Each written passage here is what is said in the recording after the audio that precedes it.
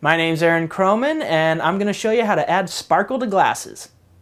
Um, so we're going to switch, uh, we're going to kind of make it a little sparkly. Uh, going to switch to white foreground color and going to right click, get into the brush preset menu.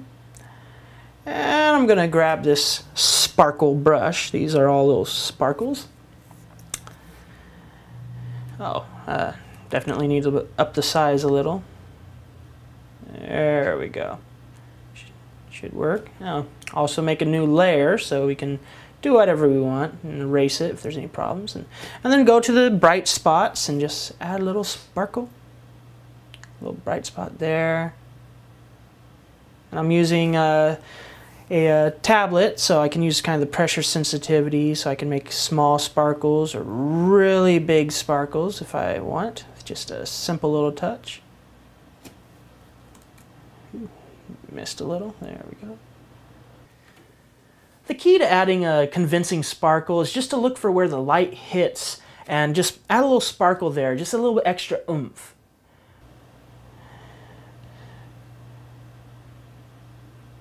And that's kind of all you need if you're just kind of a bachelor, but perhaps you want a fairy tale uh, glass, uh, one out of a storybook, Cinderella.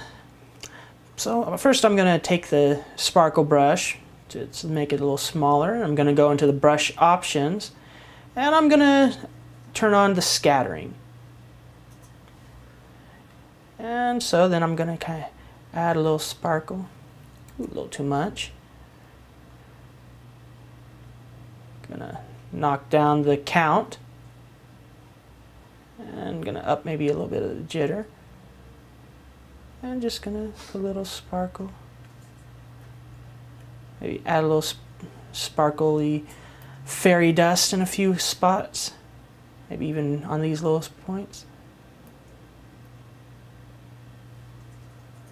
Because this is the enchanted bachelor artist cup. Which all good artists wish to have a little bit of. And can kind of clean up some of these sparkles a little. Using the eraser tool, just there we go. And that's the good part about it being on a different layer. We can do whatever. But yeah, I'm going to turn off that layer. So, but there we go. So adding a little bit of sparkle. Remember to hit the, the bright spots uh, on the on the cup and enjoy making your glasses sparkle. My name is Aaron Kromann. Good luck with your art.